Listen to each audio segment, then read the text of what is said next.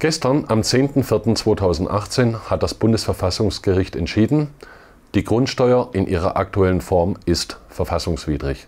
Das bedeutet konkret, bis Ende 2019 muss der Gesetzgeber eine neue Regelung dazu finden. Es gibt bereits erste Vorschläge für mögliche Reformen, allerdings noch keine finalen Entscheidungen. Fest steht jedoch, für einige Eigentümer könnte die Steuerlast zukünftig deutlich höher werden. In unserem Blogbeitrag erfahren Sie auf einen Blick alles Wichtige. Mein Tipp für Sie, das von der Mehrheit der Bundesländer vorgeschlagene Kostenwertmodell funktioniert wie folgt.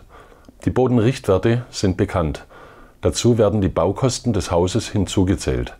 Jedes Jahr wird ein Teil der Baukosten abgezogen, um der Alterung des Hauses Rechnung zu tragen.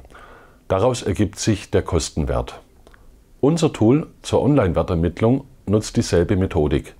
Bodenwert plus Bau- und Substanzwert werden mit dem Marktanpassungsfaktor kombiniert. Im Ergebnis erhalten Sie einen Richtwert für Ihre Immobilie.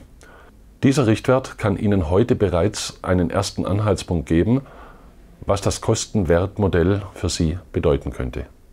Vielen Dank, Ihr Bernd Banasch, Makler für die Region Stuttgart, Ludwigsburg, Böblingen und den Altkreis Leonberg.